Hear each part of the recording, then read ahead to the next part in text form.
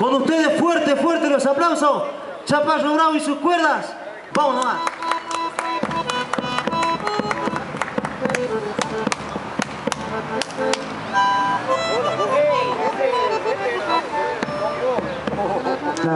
ahí está, listo. Bueno, muchas gracias a todos, muy buenas tardes. Gracias Lucas, gracias Caro, gracias Elba por la presentación. Eh, bueno, otra vez feliz de estar acá otro sábado compartiendo con ustedes. No un sábado cualquiera, estamos recordando el natalicio de la escultora más importante de Argentina, la señorita Lola Mora. Bueno, vamos a comenzar esta tarde con un poco de folclore. Folclore bien tradicional, bien a las raíces, con nosotros, Chaparro Bravo y sus cuernos. A ver ese bandoneón.